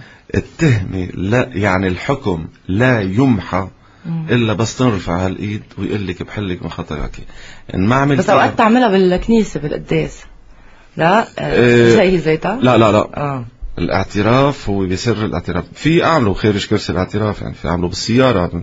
المهم يكون موجود أنا والتايب. بس بالقداس بعطي البركة مم. مش الحلة هلأ بكرة نهار السبت بيعطوا الغفران الكامل للي اعترف. بده يكون اعترفت اعتراف شخصي طيب إذا اعترفنا عن اشياء عملناها وبطلنا نعملها لازم دايما نرجع نعترف عنها ولا لا لا خلاص. آه انتهى الموضوع. إذا ما عدنا ارتكبنا شيء من بعدها خلصنا. يسوع ما بيمزح. مم. بس يغفر بيغفر للأبد. مش إنه بضبها وبيسحب لك إياها بعد فترة. مم. بيقول مهضوم أحد الأباء البسيكولوج أمريكاني هو بيقول لما بتروحي تعترفي قال الله بيحط خطاياك ببقجة مم. بيختمها مزبوط مزبوط وبيكبها على أغمق نقطة بالبحر. وبيكتب على الشط ممنوع الصيد. ممنوع حدا يرجع يسحبها أو يذكرك فيها. حلو. شوف لحد وين بيغفر لك. تيقول لك تعي. خطايا يعني دمي محالك تعي خدي. يعني تأملي أنت مديوني. جيت أنا غني. قلت لك تعي أختي روح على البنك لا إلي. حاطط مدير هونيك اسمه أبونا. خليه يختم لك على الكمية اللي مدفوع. أنا بدفع لك إياهم. إذا قلتي لا ما بعرف شو بتسميه للشخص اللي بيقول لا. جاي ادفع لك ديناتك وما بدي فايدة وما بدي ترد لي إياهم. الله بالاعتراف جاي يدفع لك ديون الخطية لأن الخطية بتورطك بدين. هاي الدينونة هون. اسمها عدالة الله. جاي عم قل لك يا أختي جاي عم بت... عم بدفع لك هالدينات بدماتي. تروح عند الكاهن يختم لك على الخطية طيب أنا بخبرك عن حدا راح ما بعرف شو اعترف. بس اعترف بأشياء كبيرة. كبيرة. أبي- لا كبيرة يبدو. ايمن الخوري قال له أنا ما في أعطيك الحل روح. بس بيقدر الخوري إيه يعمل بيقدر؟ بيقدر. في؟ شيء في خطايا. أول شيء إذا اكتشفت بالخاطي منه ندمان. في امتناع أعطي الحل. لما الله مش عم يلعب. هي الكرسي للي تايب. مش للي مش تايب. هذا يعني أنا قاضي قاضي. عندي مجرم ندم على غلطه. بقدر خفف. من الحكم عليه بقدر الغي له الحكم أنا القاضي. بس شخص لا بعده مصر بده يرجع يكفي. ساعتها بلقطه بكبه بالحبس ما ما ما ما, ما, بعامل الرحمة لإله. الاعتراف رحمة الله للتايب مش مش للتايب. هاي شغلة. في أنواع خطايا ما بقدر الحل منها. مثل؟ بدها مطران هاي وفي خطايا بدها بابا. آه الإجهاض آه ضرب المكرس. ال- الربا المرابين. خطية هاي بتقود لجهنم. اف إيه. المرابين هن ولاد الشيطان ها. آه الدخول بالماسونية. هلا أنا فيها حرم. ال- ال sacrilège بيسموه هتك القدسيات. تاخذ القربان الدعسية صور القديسين أو تهتكي بأشياء تدنسيها الأشياء المقدسة. إيه، كان في قديما الدخول لحصن الراهبات بس هيدي نزلوها. هاو بسمون المحفوظات. يلي محفوظين للمطران أو مشان هيك يمكن يكون آه، قال له خطية من الخطايا قال له خي ما بقدر حلك شوف مطران. آه. أو أو انطرني بجيب لك أنا اذا من مطران. يعني بدنا نشوف شو صار. الاعتراف شيء intime بين التايب والأبونا. ما بنقدر نعرف. بس يقبل شو بيقول له الأبونا. قد إيه بتسمع بيقولوا دينة الأبونا مجوية قد ما بتسمع أخبار بشعة بالنهارات شو أكثر شيء؟ آه أكثر شيء. كذب سرقة خيانة؟ كلهم مت... كلهم قد بعضهم. الخيانات كثيرة آه السرقات كثيرة الأكثر أكثر شيء والناس أغلبيتهم ما بيعترفوا فيها بس عندك النميمة. وهيدي أكثر خطية بتأذي قلب الله. لما نحكي عن لأنه بيوازيها الله بالقتل. والله. بيقول قيل لكم من قتل يستوجب نار جهنم. أما أنا فأقول من قال لأخيه يا أحمق شو يعني؟ يعني فيك تقتليني بالجسد توصيني وفيك تقتلي لي كرامتي تروح تكبي خبرية عني تغيري صورتي قدام الناس. هاي شو بيصلحها؟ هاي فيها قتل. قتل معنوي فيها قتل كرامات فيها قتل صيت. مشان هيك النميمة. لما ترجمت كتاب ماريا سيما اللي كانت تحكي مع الأنفس المطهرية إيه. سألتهم للأنفس شو أكتر خطية بتعلق بالمطهر؟ قالوا لها خطيتين السرقة ما بيطلعوا من المطهر إلا ما يرد المسروق أو بدهم يقاسوا عذاب بقيمة السرقة. والنميمة؟ أف هاو أكتر خطيتين بعلقوا بالمطر تتشوفي؟ في أسألك سؤال جريء تفضل. الزنا هو طبعا خطية. نعم. آه في بعض الآراء حتى يعني آه من بعض الكهنة كمان إنه أي شيء يرتكب عن حب منه خطيئة. يعني هل الزنا يعني لما يمارس الجنس من أجل مصاري من أجل مصالح من أجل كذا شيء؟ وإذا مورس بدافع الحب شيء آخر؟ أنا بقول الله هيك يعني إنه مش معقول. الزنا باردون إيه، الجنس له كذا بعد. له بعد عاطفي نسميه الحب. له بعد اجتماعي له بعد عائلي له بعد روحي. أه ساعة لما نمارس الجنس بدنا نمارسه بأبعاده كلها. ما فيك تلغي بعد من هالأبعاد وتقولي أنا عم مارس الجنس في الحب. في البعد الاجتماعي يعني المجتمع بيقبل وفي حب. طيرت البعد الروحي والبعد العائلي. اليوم بيقولوا تنفهم شو الحب. بيقولوا كل شيء نحن بنخترعه يعني اعتبري أنا اخترعت آلة فرم اللحمة. بعطي معها أنا اللي بحق اللي أعطي معها شيء اسمه الكتالوج. هذا الكتالوج بيفسر للي بده ياخذ المكنة كيف يستعملها تما يهدر طاقات موجودة فيها ما يعرفها وتما يحرقها. بيقولوا اللي بيعطي الكتالوج هو اللي أوجد الشغلة. اليوم الإنسان طاقة الحب فيه والجنس يلي هي خدمة الحب مين أوجدها؟ مش فرويد. طيب نشوف شو بيقول فرويد أو شو بيقول إكس أو إجراك الأوجد طاقة بهالإنسان هو الله. بدنا نروح نطلب الكتالوج منه. كيف بده ايانا نمارس الحب؟ مشان هيك الرب حط إطار لهالحب اسمه العائلة. هلا الحب خارج العائلة. بعده حب لم ينضج. يعني أنا زرعت اليوم شجرة. ما في روح أقطف منها فج ما بيتاكل. بقطف لما بيستوي. نحن بنقول الحب خارج العائلة بعده حب عم ينضج. بيستوي بالزواج. صار فيي أقطف هونيك. إذا قطفت قبل الزواج عم بقطف ثمرة فجة صرت عم عم بزرع شجر بلا ثمر يعني شو ثمرته للحب؟ شو ثمرة العلاقة خارج الزواج؟ بتعرفي شو كان يسميها أحد ال psychologue؟ هي pardon هلا عم نحكي بجرأة على الهواء هي masturbation entre deux يعني يعني هي استمناء بس كل واحد عم يستعمل الآخر مش أكثر تحت ستار لا نحن بنحس لبعضنا وعاطفة بس شو الثمرة تبعيته؟ لأن الجنس الرب خلقه خلق له ثمرة هدف. اسمه إنجاب البنين الأولاد وإذا ما بدنا بنين تقوية الحب بين الزوجين. لأن هالقربة الجسدية بتقوي الحب والعاطفة بين الزوجين. خارج الزواج شو ثماره؟ مشان هيك كان يقول أحد البسيكولوج الحب الجنس ضمن الزواج هو حطبة بقلب الموقدة. شو بتعمل؟ بتدفي. والجنس خارج الزواج حطبة خارج الموقدة. بتحرق. وإذا ما في حب بالزواج جبران بيقول إنه آه عن بإحدى بالأجنحة المتكسرة بيقول عن على لسان امرأة آه كمان رجموها هيك إنه زانية لأنه كانت عايشة ببيت رجل كتير معه مصاري وكتير معززة ومكرمة آه أبو رشيد أو شيء اسمه.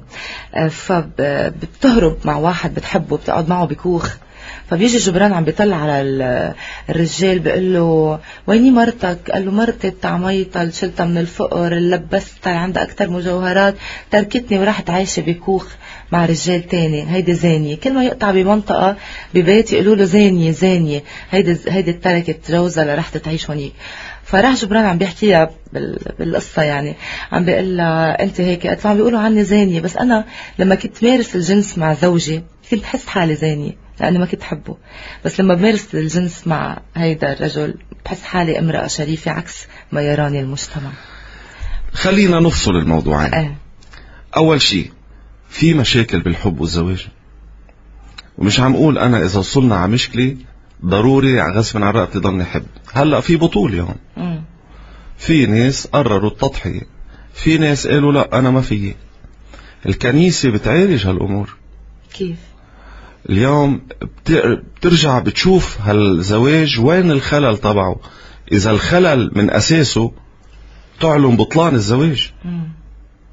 ما بنخليها بحالة زنا لعمل هيدي هيدي بدها حلقة لحالها عن المحكمة المارونية. لحالها بدها. وسمعك ناس عم تحكي بس. طيب okay. هلا okay. أنا حاضر إنه مش عم بسمع مفكر ماني ماني هيدا مطرح ما بعرف. ريما لك بدك تعرفي إنه حتى بالمحكمة في خلل. في كتير طيب. طب, طب. مين بيعالجهم أوكي. مفروض الكنيسة تعالج طب ما عم تسمع؟ بلا. إيه. وعم تاخذ قرارات كتير مهمة بحق أشخاص طلعت ريحتهم. مثل ما بالقضاة عنا كمان في أشخاص طالعة ريحتهم. يعني المفروض الدولة هون تتحرك. هون ما في حدا مغسيهم يعني لا, لا ابدا ابدا. وأنت ما بتعرفي جوا قد إيه بصير تغييرات. وقد إيه في أشخاص طاروا. ممنوع يرجعوا. لأنه في علامات استفهام على ملفات لإلهم على دعاوى حكموا فيها هلا على كل هون بشر وهون بشر يعني شو ما آه تأملي هالمسؤولية اللي حطها بين إيدينا ربنا. هلا إذا في خلل بالحب مش معناتها محكوم إعدام يعني تبقى يصلبها ليل ونهار جوزها أو العكس. إذا المرة ظالمة في شيء من اسمه نصلح الحب. أو منقول يا عمي ممنوع. نفصل الزوجة عن بيتها ومجبور على رقبته الزوج إذا كان مغلط يعطيها نفقة ويعلم أولادها و... وفي أحكام كثير بهالموضوع. وفي أشخاص مثل Sainte Rita أبطال عاشت مع وحش Sainte Rita زوجها كان رجل عصابات. ردته خروف جابت حولت الذئب لخروف بس هيدي Sainte Rita. وأيه في أشخاص كمان أخذوا القرار إنه شو ما صار بحياتي؟ مم. بدي أتحدى الكبير والصغير مم. وكفي بالعيلة مش هخليها تنهد آه، أنا بشجع هالموضوع. يعني أنا ساعة اللي بتنعرض علي مشكلة بعلم الأم تضلها مهدية البيت لأنه بعتبر البيت عمودين okay بس بدها تضلها مهدية ما بدها تعيش يعني حياتها بشي مطرح؟ ليه ملاكي بآمن أنا في شيء اسمه نعمة الله. مم. بشريا لا. ما بتقدر. بس بآمن إنه يعني. إيه بآمن إنه الله قادر يعطي الإنسان اللي بيقرر وبيحترم الله قراري. انتبه إذا فلت مش مغلطة. مش مغلطة إذا كانت مظلومة بالبيت بس آه آه إذا قررت تبقى فيها بطولة. يعني فيها مجازفة كبيرة. هاو ساعتها عم تمسو عم تمشي بمسلك معلمة يسوع قرر يحبنا للصليب. حرقنا نفسه على الصليب ما خلينا له لحمة عظامه. دار الكفة للأخير. في أشخاص خوت بالمحبة مثله وعندهم إيمان بس بيطلبوا القوة من الله يقدروا يقطعوا المرحلة. لأن بلا قوة الله ما ما بتقطع. أه بس وين المهم؟ يعني كنت عم أقول البيت عمودين. نزل عمود منه. بعده هيدي عمود. نزل الثاني هبط البيت عمام فيه. الولد نصيبتك ما بيقدر يقبل امي بي فلو بالنسبة له الله بيخلقه هيك. إنه شو ما صار بالكون عندي سند إمي وبي ما بيتغيروا. يوعى يوم من الأيام يشوف امه وبيه حدا واحد منهم قرر يستقيل من محبته ويبعد. إيه طبعا. تنهز نفسيته ويوم من الأيام بس يتجوز رح يمشي بمسلكهم. بس يوقع قدام صعوبة مثل ما هرب بي رح يهرب مثله. يعني فيها مسؤولية خاصة إذا في ولاد مشان هيك بنعلم أماتنا يهدوا يهدوا عم نقول أماتنا كمان رجالنا آه. إيه. آه، أبونا نهار التنين كمان مش بس عشية بتعجق بس هي اللي تب- كانت. كمان ظهر مين اللي هول الناس اللي بيجوا عندك شو بدهم؟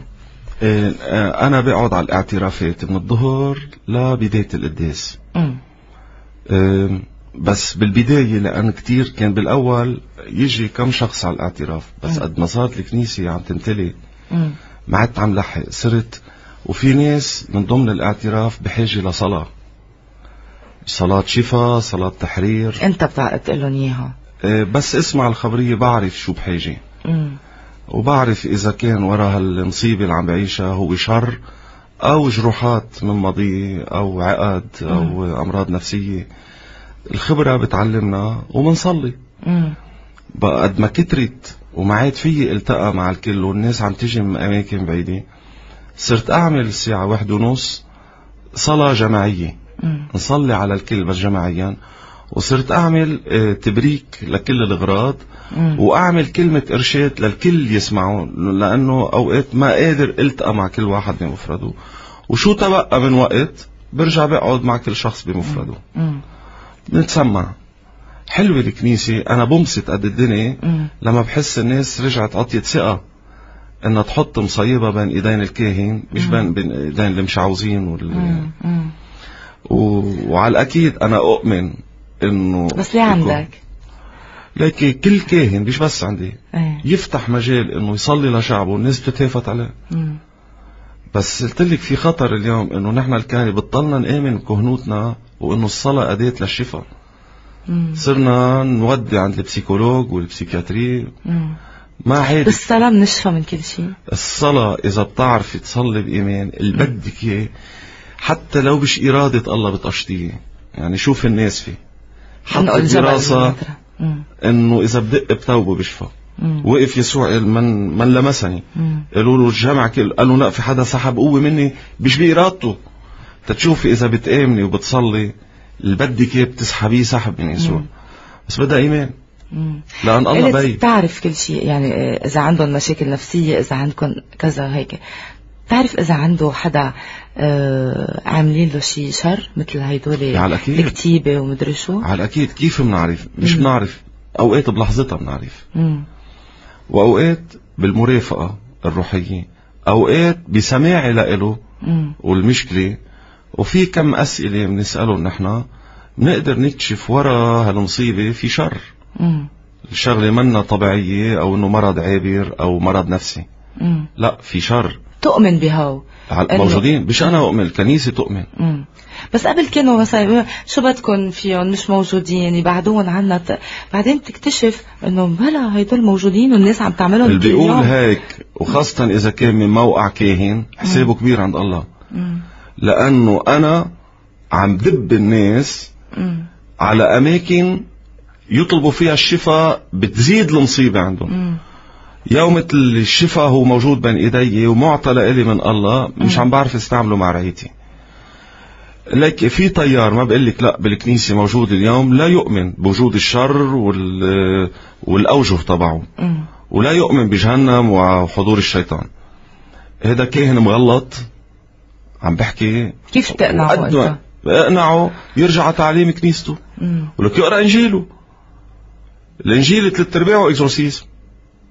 كانوا يأتونه بالمسكونين وكان يطرد الأرواح منهم. صح. وكذا مطرح آه، آه، يتواجه مباشرة مع الشيطان يسوع. مش مع فكرة. مم. يحكي معه. يأمره شو اسمك. شو بتعمل للي هيك بتكتشف انهم ما عمل لهم شيء يعني؟ أصلا تمارس هالسر بدها إذن من المطران. آه كل مرة؟ يمكن. أو المطران بيعطيك إذن. على طول على طول أو بيقول لك قطعي لك الحيله بحيلتها انت شو عندك؟ هلأ أنا آه ساعة اللي بنشوف حالة كتير صعبة بنقول له للمطران. مم. بس الحالات يلي هي آه، في شيء اسمه possession يعني شيطان ساكن. لما بنقول possession يعني احتل. مم. احتل حياة الإنسان. بيقدر يحتل قلبي بيقدر يحتل ذهني بيقدر يحتل جسدي بيعمل. عوارض بحالات جنون وفي شيء اسمه ال infestation ال infestation يعني إنسان يأكل ضرب كتيبة أو سحر أو ربط. يعني هون بنعتبر محتل. يعني كيف جندي قاعد ورا متريس انصاب مم. بس بعده عدو عم بقوس من بعيد. ها؟ هون ممكن الشيطان يقدر يصيبني بعمل شر. مم. بكتيبة بسحر بربط. هاي ما بدها اسم. آه. هاي فينا نصلي عليها وثلاث أرباع العالم هيدي وضعهم. هلأ ساعة اللي بنوصل ال- البوسيسيون شغلة كتير رار. يعني آه. منا مش إنه كل ما واحد عطس تعا فيك شيطان لا. آه. حالات كتير نادرة وبيوصل الإنسان من بعد ما بملء وعيه وحريته يسلم نفسه للشيطان من خلال الخطيئة يعني الكبيرة. من خلال الخطية من خلال التعاطي بتحليل الأرواح. من خلال الالتجاء للبصارين أو من خلال باكت بعمله مع الشيطان عقد بالدم. مم. هودي تبع الماسنوار عبد. واللي عبد الشيطان. بيعملوا عقد صريح. كيف أنا عملت عقد مع الله؟ أنا, أنا إلك. هودي بيعملوا عقد مع الشيطان. هن إله كنت بفترة كتير ناشط بمواجهتهم وبهيك. هلأ بعدنا. بعدهم؟ بعدنا. بس إنه إعلاميا بعتبر أنا مم. حكينا اللي بدنا نحكيه مم. نكرر حالنا شيء بفكروا الناس طالعين للدعاية يعني. نعم. لأن هي موضوع بفترة من الفترات استعملته وسائل الإعلام. هون رفضت أنا بقى أطلع. استعملته لأن بيجيب لها دعايات. تعرف الناس هالموضوع كتير بشدهم يسمعوه. إيه. أه بقى أنا طالما الحلقة منا رسالة عم أديها وإشهد لربي ما بنزل. مم. نازل تحت لي أعمل دعاية وهيك إنه جيب لك أعملها عند غيري هيدي. آه، مشان هيك في حلقات صارت كانت ضرر للناس أكثر من إنها كانت آه، موجهة ومسقفة. مم. بين ال- الكتيبة وال- والهيدا عم نحكي عنهم سريعا. بس مثلا صيبة العين موجودة. موجودة. شو هي صيبة العين؟ شو هي؟ الناس بيفتكروا عينيه زرق بصيب فيهم وسنانه فرق أو اسنانه ف... آه، صيبة العين هي قوة شر الإنسان من خلال الخطية بيحملها بكيانه. وهيدا الشر ما بيتوب عنه. مم. الشر كيف الإنسان حامل بجسمه مرض؟ ما عم بيصح منه. إذا ما صحيت صبحت مع هالمرض وين بفوت بعدي. مثل ما جسدي ممكن إذا حامل أمراض ما شفيت منها بتعدي. روحي إذا حملت أمراض روحية إذا ما تبت عنها بتصير تعدي. تشوفي أشخاص بفوتوا على بيت تحس السلام انفقد. مية بالمية. بتحس البيت صار جهنم والعين بغياب هالشخص للبيت رايق مم. بتلاقي في إشياء بتتكسر في إشياء بتتعرقل نحن. بنوجع بنعمل آه،. أوجاع هاي مش معناتها صاب بعينه بس هي تعبير لأن بيقول يسوع بالإنجيل من هون جاي التعبير إن كانت عينك شريرة جسدك كله يكون شرير. يعني إذا كان القلب في شر منين بنعرف من عيناه مم. سبحان الله بتطلع بعينين أشخاص بتشوفي ملاك وبتطلع بعينين أشخاص بتشوفي الشر طالع منه. هذا كله العين بتبث شو فيه بالقلب. مشان هيك هون هي؟ الشخص ملاك إذا شخص بصيب بالعين أو شخص بينصاب بالعين okay شو بيعمل؟ لا صبوا له رصاص مم. وقف إيش الرصاص؟ بنرجع طق الحنك اللي بيعملوه فوق رأس الناس أو يلبس خرزة زرقاء. آه، أو يلبس خرزه ما بعرف جايبينهم هون. هيدي منيحة العذراء؟ بتجنن. immaculée هيدي إيه. روعة. هيدي بترد العين؟ آه، رح أقول لك شو اللي برد العين okay. ولا إني أقلب له صب... pardon أقلب صباط وعلق له ناب فيل. وحط له نضوة حصان. و... هاو كلهم إشياء وثنية فاتت على كنيستنا ما إلها خص لا بالله ولا بالدين. اللي بصيب بالعين يروح يعترف بس تطلع منه هالأمراض الروحية. بصير حضوره في سلام. واللي بينصاب بالعين منه محمي. آه. مسقط الحماية الروحية عنه لا بيكون ما بيتناول. مش عم بيصلي. ما انت جسمك ما تغذيه سقطت الديفونس تبعه الفيتامين بصير المرض يغلب. قوي صحتك بصير الصحة تقوي أي نوع آه، صلاة أبونا؟ لأنه أول شغلة مم. القداس. ما في شيء بحل محل القربان يعني في ناس أنا أبونا ما بقدس بس أنا بصلي بسيارتي ما إلها طعم الصلاة إذا ما بنقدس مم. القداس هو يعني الصلاة حوار مع الله. بس لما بتقدسي بتاكلي الله فرق احكي من إني أكل مش أنا بسميه وليمة روحية مم. نتغذى بالرب؟ اللي بيقولوا لك ما بقدس تعرف ليه؟ هذا دليل الكهنة إيه حكينا ما بدنا نشجع عن ايده آه قلنا القداس ما خص الكاهن فيه مم. الكاهن هو مدير كمان. سفير من يسوع مم. الجو آه، طيب أوكي حقه حقه الإنسان يروح على الجو اللي بيرتاح له. نحن عم نقول مجبور انت لم ملزمين معنويا ادبيا برعيتنا. بيعملوا وعظات يعني ما بن- لم نفهم منها شيء ولا لها علاقة بالإنجيل ولا لها علاقة بشياكه ارتجالية. بقى طب ما نحن كمان بدنا نكون واصلين لمرحلة من السلام ومن الصمت. ناطرين شيء. طريقه بس يكون أبونا. عم يوعظ. رجع خذ عمليها شي مرة. قولي له يا روح الرب بطلب منك نزال عتمه لهالكين واحكيني. جربي يا مرة هو عم يوعظ صلي للروح القدس يحل بهالكاهن اللي عم يحكي. ورح تشوفي إذا ما بتغيري له نوعية حديثه وبتخليه يحملك زوادة من الله بتقولي هالأبونا كذب علي. جربي يا مرة. حلو. بدي آخذ اتصالات لأنه لهم زمان ناطرين ألو؟ ألو؟ نعم؟ موصلين المسيح يا معكم. يا هلا. صوت المحبة حسيت حالي.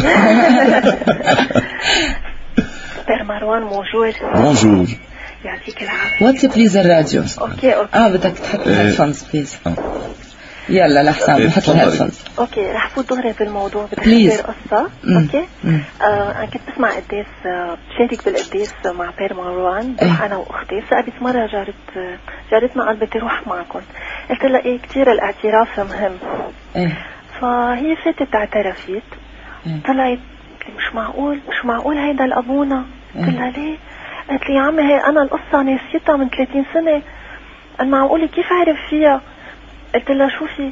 قال لي إيه. انه أنا مروحة عاملة إجهاض مرتين ولازم أعترف وصلي وأعمل كتير عمايل حسنه إيه. قلت لها عن جد؟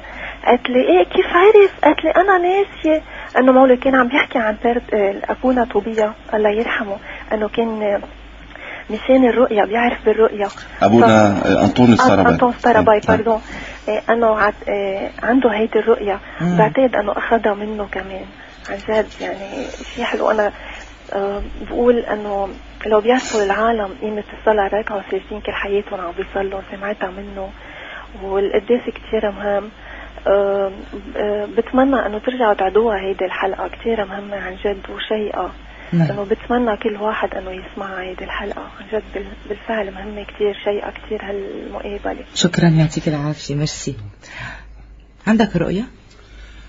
رؤية لا بس أوقات بنحس نحن وعم يعني بيجي شخص بيبقى عم يعرض مصيبة لإلي. إذا ما قدرت اكتشفت من خلال كلماته شو في ورا مصيبته. وكتير مهم نكشف ورا المصيبة لأنه ما بيكفي بس نحل مصيبة بتبقى الأسباب موجودة. بترجع بتخلف غيرها إيه، بصلي على الشخص. وأنا عم صلي أوقات مش عطول إيه، ومش عم قولها هيدي تحت إيه، يفتكرونا العالم مثل كأني شي بصار أو شيء أوقات نحن عم نصلي في صورة بتجي مم. أو كلمة بوقف الصلاة وبسأل الشخص. شفتك كذا مرة بالكنيسه عامل هيك. بتعنيك هالشغلة. مم. شي مرة عامل هيك تلاقيه بكي. أو إنه مزبوط أو إنه صاير معي هيك بالماضي أو إنه مم. آه ماضي مش مستقبل. لا لا مش مستقبلي مم. شي عن الماضي. مم. المستقبل هو هالإرشاد. أنا بعتبر هذا من الله. احملي زوادة واعملي موجبه ورح تشوفي أوقات بيبقى تافه الإرشاد بسيط. مش تافه باردون بيبقى بسيط يعني ما في شيء. في ناس مثلا بيجوا لعندي من بعيد عاملين مشكلة. بسمع بسمع بسمع. آخر شيء بقول له بليز رجع القداس بقول لي ولو أبونا جاي من آخر الدنيا تقول لي الخبرية ناطر يسمع شيء. قال له يا أخي اعمل لي إياها. من بعد ما تبلش تقديس بدي ألتقى معك. بيرجع مرة إجا واحد لعندي قال لي أنا ما بعترف أبونا أنا أصلا ما عندي شيء. ما عندي شيء أعمله أنا بعمل خير أنا بساعد الناس أنا أنا. عمل لي liste بالفضايل طبعا. قلت له لك روح أعمل صلاة للروح القدس على تسعة أيام. وبتقول له please اكشف لي حالي. ورجع لعندي. راح. رجع بعد شي جمعتين جايب لي 14 ورقة كاتبن 14 ورقة كاتر قلت له شو؟ قال لي بدي أقول لك شو اكتشفت. ما كان عنده شيء بده يحكيه ولا يخبره. رجع ب 14 ورقة بده يخبرنا خطايا؟ خطايا وعيوب وقصص غاطس فيها ومخبص فيها. 14 تشوفي ساعة اللي بتفتحي. آه هيدي مش رؤية للمستقبل. هيدي ربنا أوقات بيستعمل الكلمات الفقيرة بتبقى بسيطة. إذا بتعملي بمجابة بيكشف لك الرب إشياء عظيمة كانت مخبية وكانت هي مانعة فرح عن حياتك سلام عن بيتك. شو هي الصلاة تبع الروح القدس؟ يعني في صلاة محددة ما بس هلا في صلاة. عملتها الكنيسة. وفيك أنت بعفويتك يا روح الرب تعا مم. مثل ما حليت على الرسل حل فيي مم. أعطيني كون مسيحية أقدر أعيش هالكلمة مش عن- قويني ضعيفة أنا بالتجربة اشفيني شفي لي ذهني راكب فيه أفكار أوقات آه، ذكريات صور بشعة انطبعت فيه أحداث شفتها مش عم تغيب عملت لي قلق مش عم نام يا روح الرب تعا اخترعيها أنت. شفي لي قلبي لأني أكلت خيانة أكلت ضرب حقدي. تلاقي روح الرب إذا فات ضحكتك ما بتغيب عن وجهك. الرسل بس فات فيهم الروح القدس لا ألم يخبطون بالحبس يطلعوا عم بيمجدوا الله. حدا بي- بياكل قتل بيطلع عم بيقول له ربنا ميرسي. بخليكي مش طبيعية بس. مجنونة بالله. مش طبيعية بمنطق الأرض. بس بالله مجنونة وبذات الوقت بتحسي شو ما صار؟ رافقة. ما في مشكلة بتغلبك. هذا هدية يسوع لنا. والملاك الحارس؟ الملاك الحارس أعطاك إياه الرب يحرسك خاصة من أخطار الجسد. الأكسيدونات. مشان هيك مش لازم نتركه اون شوماج يعني. من لازم نشغله للملاك. بيزعل كتير إذا لازم تقليعة هذا الصبح كتاب هيك كان. عملت كتير إيه. أنا. بس نقلع نهارنا. يا ملاك احرسني بالنار. مم. بس تكوني بمواقف صعبة. قاطعة يا تكون حدي.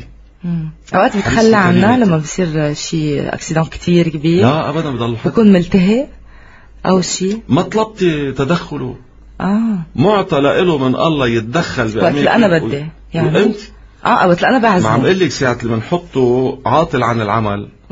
ما نلومه إذا ما تدخل بهذا ما أنت منعتيه ما عم تستشيريه.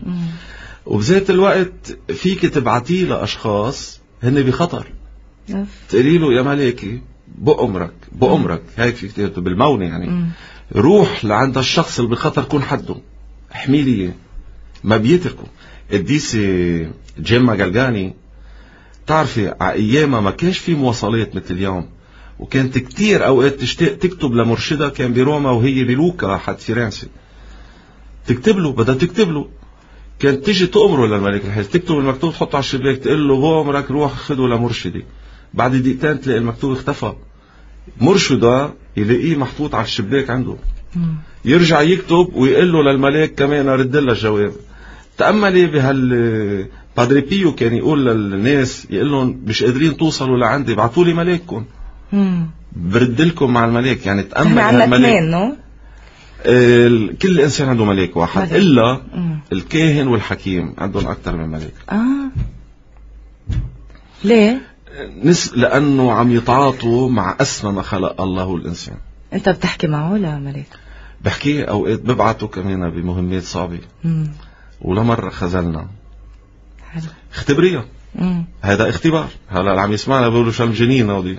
يختبروا ومن بعدها بنحكي. رح نرجع بعد الفاصل رح أسألك عن آه، آه، الصلاة اللي بتصليها بآخر القداس اللي هي التقسيم آه، واللي هي مش مسموحة لمين ما كان من الكهنة صحيح؟ عن عن. الشياطين عن طرد الشياطين عن الأشياء اللي لازم نعملها لنتحصن.